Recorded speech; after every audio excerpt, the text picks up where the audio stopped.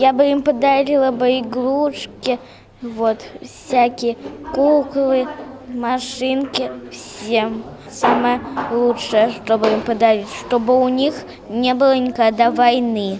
Пять тысяч детей из детских домов Луганской Народной Республики и Ростовской области, как и весь остальной мир, ждут Нового года. Несмотря на постоянные обстрелы и страх, ждут. Из Оренбурга 20 декабря к ним выезжает делегация с подарками. Помочь собрать эти подарки может каждый. Они дети, не с детьми, они верят Дед Мороза.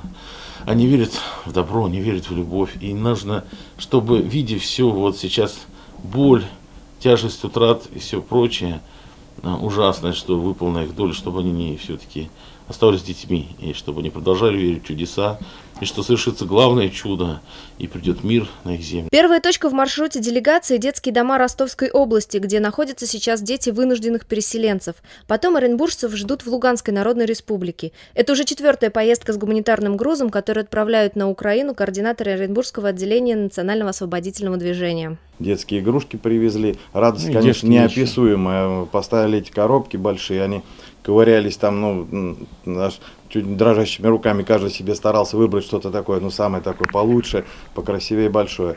Пожертвования можно приносить до 20 декабря в любой из храмов Оренбурга. Анна Солодкина, Владислав Горбунов. Новости дня.